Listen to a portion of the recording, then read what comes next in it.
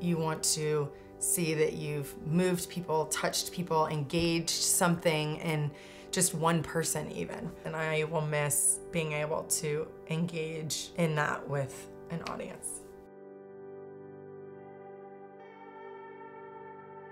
Every possible growth experience you can have, I feel like I've had with the Richmond Ballet. Every ounce of my maturity has happened within those walls. I am going to miss the daily push that you need to have in order to use your body how I have to use it. We also want a family at some point and I don't want to be crippled trying to raise a child and so that or kind children, of plays children, or children. children. Right.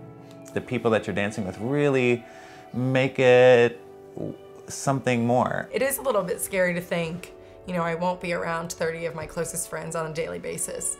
The studio is such a sacred place. Stoner says that a lot, and I really like that. There are blood, sweat, and tears that happen in that room. It's a lot of work, it's very physical, and I am gonna miss that, but I'm also excited that I'm not going to have to do that anymore either.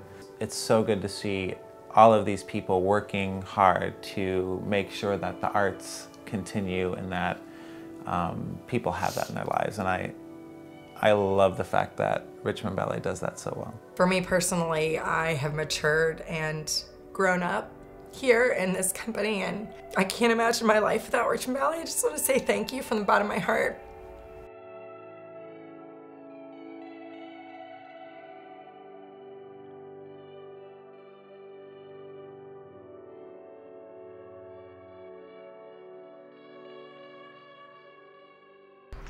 Hello, Tyrion! Tyrion!